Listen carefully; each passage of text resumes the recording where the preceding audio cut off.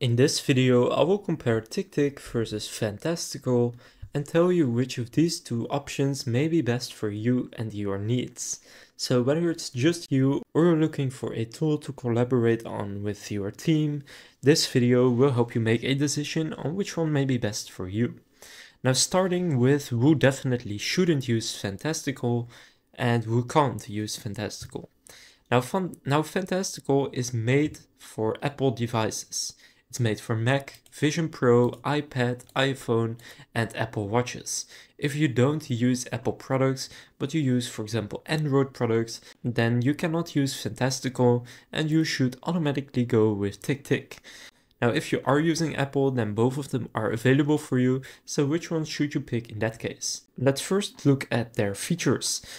So that of Fantastical you can see here, you have file and photo attachments, powerful views, you can set up tasks, you can use event and task templates, you can connect your Apple Calendar, you can filter your calendars, and basically it's just a very easy to use task and project management tool.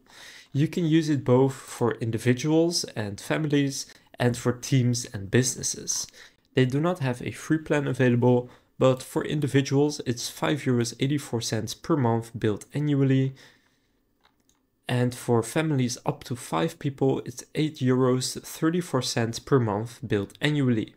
They do offer 14 day free trials on all of these plans and for teams and businesses it's 5 euros 84 cents per user per month billed annually.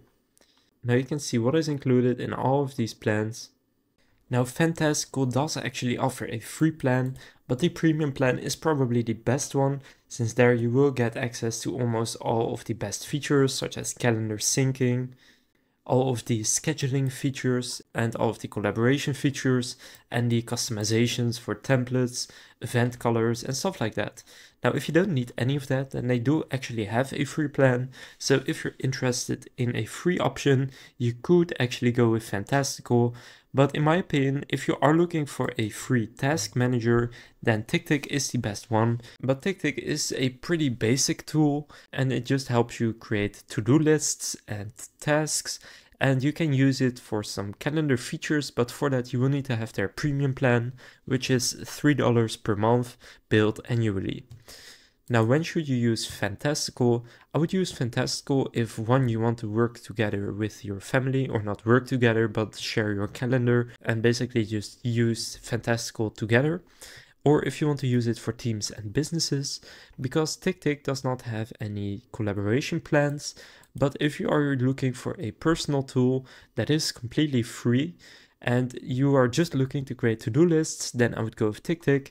If you want a little bit more advanced features, even in the free plan, for example, the home screen widgets, then I would go with Fantastical because Fantastical does work very well across all Apple devices. So if you have a MacBook, Apple Watch, a phone, an iPhone, or any other Apple devices, then you will seamlessly be able to use Fantastical across all those devices.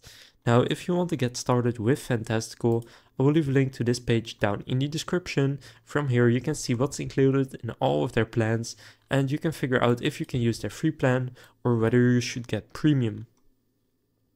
You can also see it for teams and businesses right here. So that concludes this comparison of TickTick versus Fantastical. If this comparison was helpful, please consider leaving a like and subscribing to my channel. With that being said, I will see you in the next video.